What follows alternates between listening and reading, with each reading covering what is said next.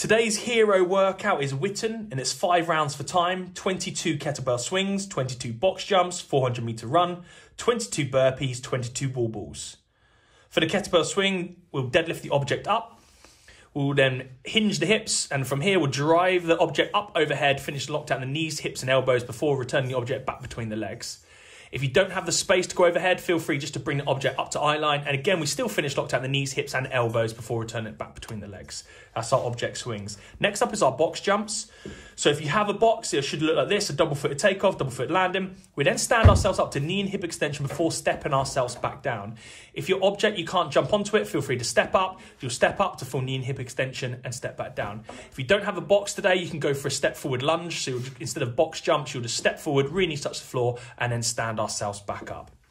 Our next movement, a 400 meter run. If you don't have a 400 meter run route, this will be two minutes of high knees. So you'll bring your knees up to a height you can maintain for the full two minutes. Next movement is our burpee.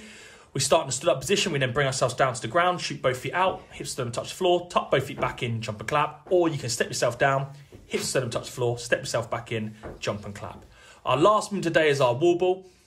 So if we happen to have a wall ball at home, we'll get ourselves in position, ball up in the front rack position. It's a full depth squat followed by a throw to hit our target back into that full depth squat again.